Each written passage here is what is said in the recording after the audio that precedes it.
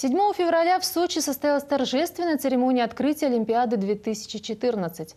В 22 Олимпийских зимних играх участвуют 2800 спортсменов из 88 стран. Будет разыграно 98 комплектов наград в 7 видах спорта. К сожалению, не у всех есть возможность стать очевидцем спортивных баталий. Но ощутить свою причастность к главному событию года, поддержать российскую команду зарядом энергии смогли и видновчане, побывавшие на празднике в поддержку Сочинской Олимпиады. Ни для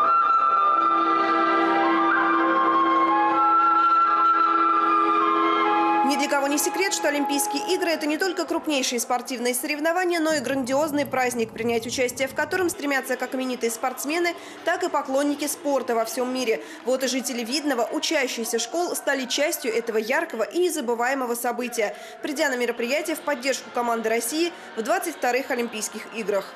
Олимпиада это, это больше, чем событие. Это событие, которого мы ждали более 30 лет. И э, вот сама подготовка, э, само э, сегодняшнее событие и день, безусловно, исторический. Потому что нет ничего в жизни прекраснее здорового образа жизни.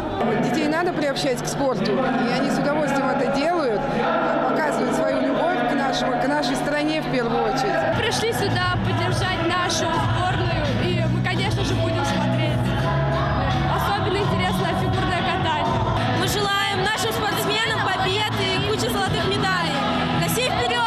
ходе праздника тренерам и спортсменам районных клубов вручили благодарности главы района, грамоты администрации и Совета депутатов.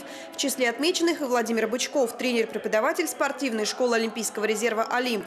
Со спортом связана вся жизнь Владимира. Сам, являясь мастером спорта по лыжным гонкам, он воспитал немало победителей и призеров районных и областных соревнований. Я не знаю, чем бы я еще занимался в жизни, если бы э, не тренировал э, наших ребят, э, не организовывал бы мероприятия спортивные. Я не знаю, может быть, занимался каким-то другим творчеством, но спорт ближе мне, конечно, по душе, по сердцу.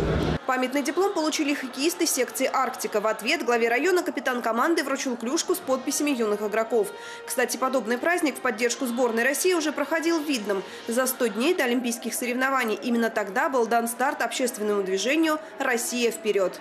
Мы будем надеяться, то, что наши акции, которые мы проводим в Ленинском районе при поддержке главы администрации, они будут задавать тот тон, когда люди будут понимать, что можно реализовать свои непосредственно желания посредством стремления и занятием спорта. Поэтому надеемся, что и в дальнейшем мы в Ленинском районе с администрацией будем проводить аналогичные акции в поддержку развития спорта в России.